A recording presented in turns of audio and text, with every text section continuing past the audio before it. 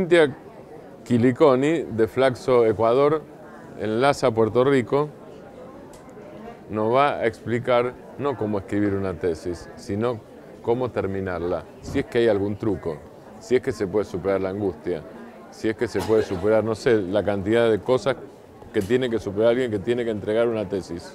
Me parece que sobre todo lo que tiene que tener es constancia para poder terminar la tesis, pero... Pero perdóname, la constancia es para seguir haciéndola. Pero ¿cuál es el punto en que vos la terminás, cerrás y decís, ya está? Bueno, es muy difícil, esa es una de las cosas que pasa. Cuando, cuando decidís que la tesis está cerrada. Y la verdad es que la tesis nunca está cerrada 100%.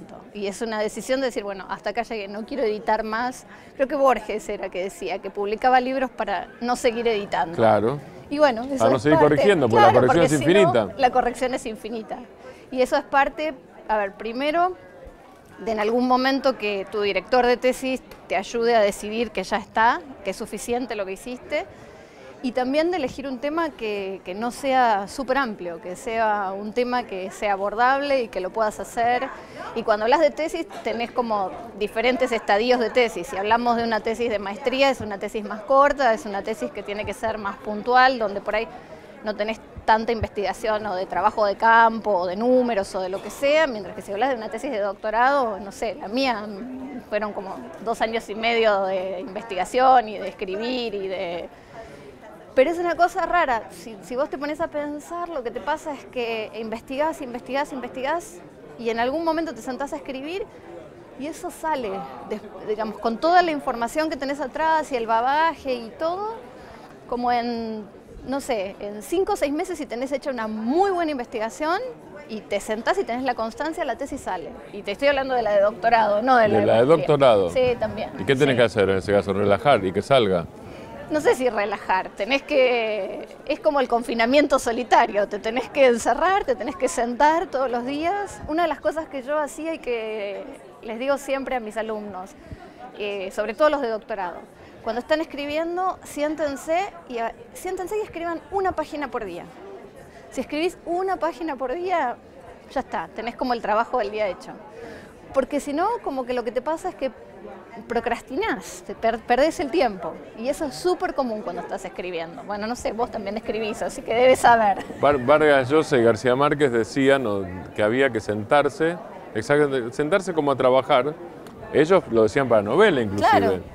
Decían, no importa, hay que sentarse y en una época la máquina escribir y después abrir la pantalla, aunque no se te ocurra nada. Pero es un tiempo de trabajo justamente. Y, y, parte de, pasa es que yo estoy convencida que ese tiempo en el que no se te ocurre nada es parte del proceso creativo de lo que se te va a ocurrir después. Claro. Y, que es necesario ese tiempo en el que no vos te me sale decías, Cintia, vos escribís, pero lo mío no son tesis. Yo tengo el deadline de un diario, por ejemplo. El deadline me parece que te ayuda porque ahí no tenés otra. Claro. Vos tenés que entregar la nota, suponete, a las 10 de la noche del día tal. Y lo sacás. Salga al día siguiente o salga cuando sea. Siempre tenés un deadline. Claro. Si escribís tres días antes, también tenés un deadline porque en algún momento eso tiene que salir. O sea que hay una demanda, vos, vos sos parte de un eslabón de una cadena industrial, sos un eslabón de una cadena industrial. En la tesis no sos eso. ¿Quién hace el deadline? Bueno, ahí también depende mucho de quién te dirige la tesis, sí. cuál sea tu situación personal. Si necesitas, a ver, yo he tenido tres situaciones diferentes de tesis, dos, de, dos de tesis de maestría. En una eh, estaba en Argentina, entonces no estaba viviendo en otro país, no necesitaba tanta plata, podía estirarlo y creo que la terminé dos años después de haber terminado de cursar la maestría. En otra estaba viviendo en Nueva York, entonces tenía que volverme y tenía que tener la tesis entregada antes de volverme. Tenía, o sea que ahí tenías un deadline, por ejemplo. Ahí sí tenía una Fulbright y la Fulbright se acababa y yo no me podía quedar más en Nueva York porque no tenía más plata y eso te sirve. Y claro. tesis terminada. Una, presión. me volví con la tesis. Bien. Y en el doctorado es todo lo contrario. Yo hice mi doctorado en Estados Unidos. Los doctorados en Estados Unidos son muy largos a comparación, comparativamente en cualquier otro lado, pero tenés mucha cursada primero y, eso es como muy formal, como que vas siguiendo, vas haciendo la cursada y de repente se acaba eso. Y vos, bueno, tomás unos exámenes, qué sé yo, y bueno, y ahora ya está, no tengo más nada y tengo que escribir la tesis, el proyecto y, después la tesis. Y ahí depende mucho de lo que te decía yo, de, constancia y de cuánto uno se harta y, decir, bueno, yo tengo que... Pero está bueno que te hartes. Está bueno que te hartes, lo que pasa es que también en el proceso no te voy a mentir.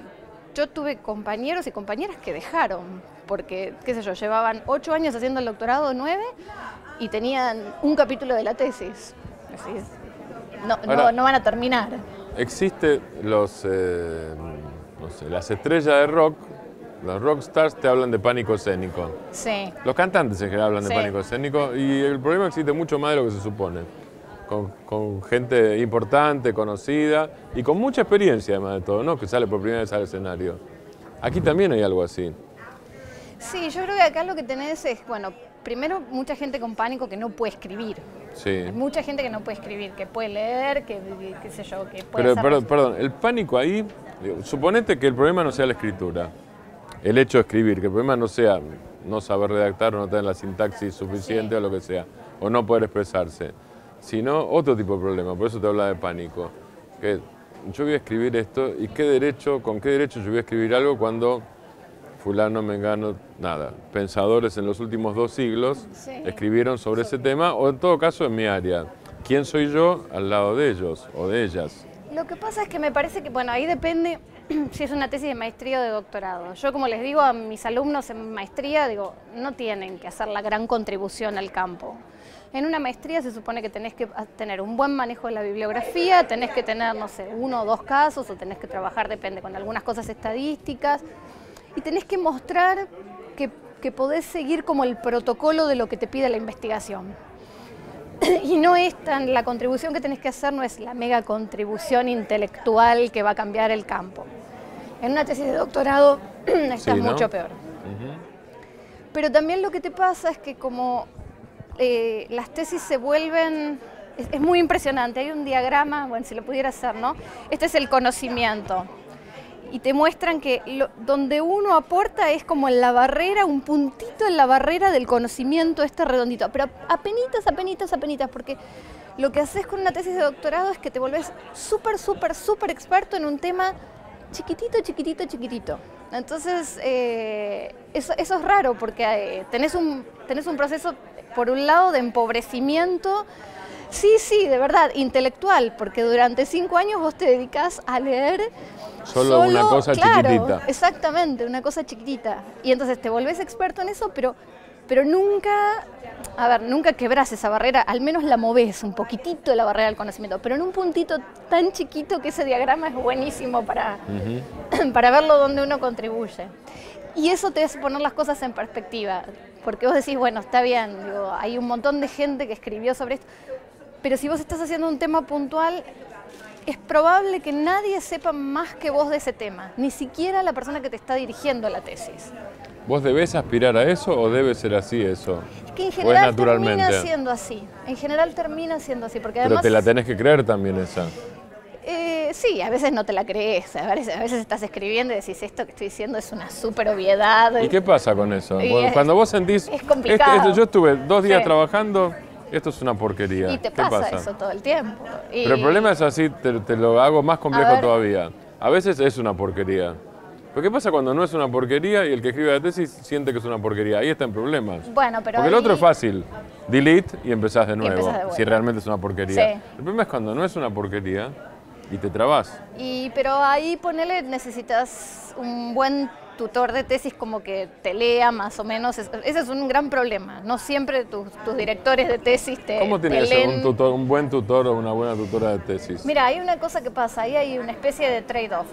Hay mucha gente que elige directores de tesis súper famosos que los ves no sé, una vez cada dos meses y medio y con suerte te leen un capítulo cada seis meses, versus por ahí elegir a alguien que no sea tan conocido, que más o menos te puede ayudar a seguir y no tiene por qué ser un súper experto en tu tema, esa es la otra cosa. Porque el experto en el tema vas a ser vos. En o sea, lo que tiene que ser es un buen director de tesis.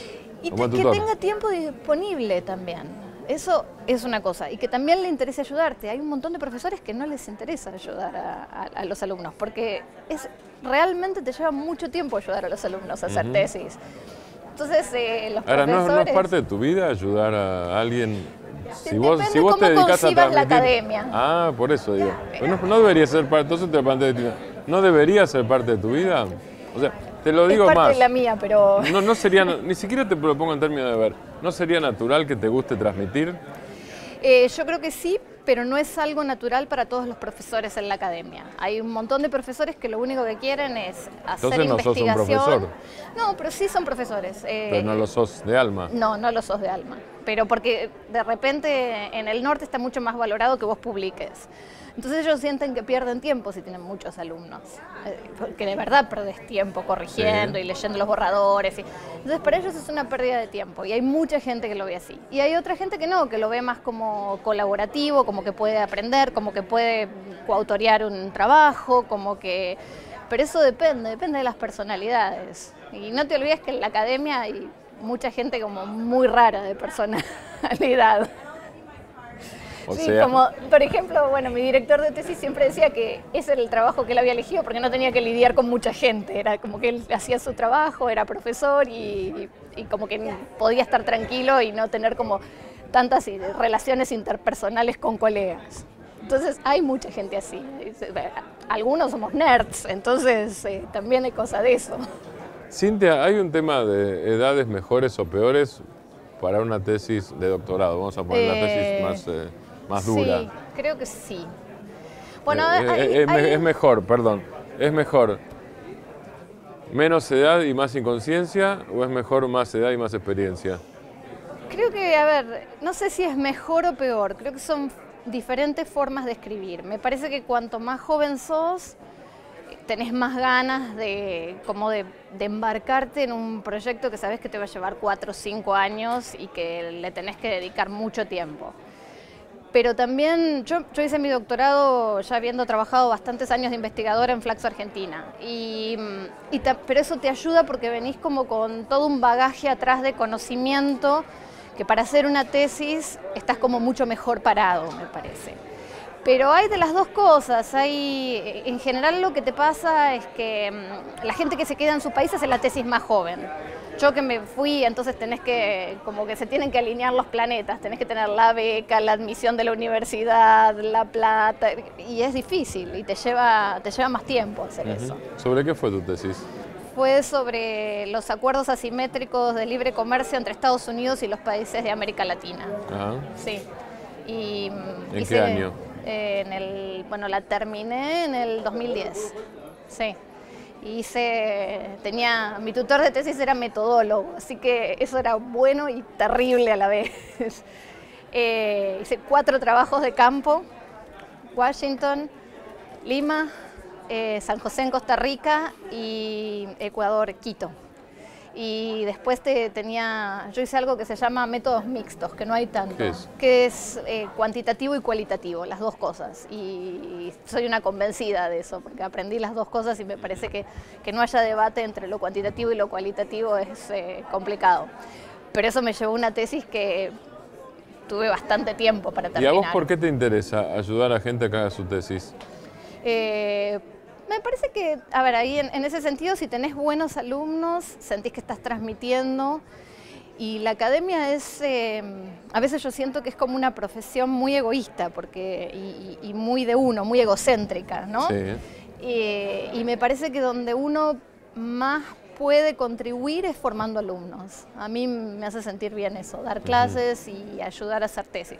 Lo que pasa que, bueno, lo que hablábamos, eso te lleva mucho tiempo, entonces Claro. ahí, y, y te quita tiempo de investigación. Claro.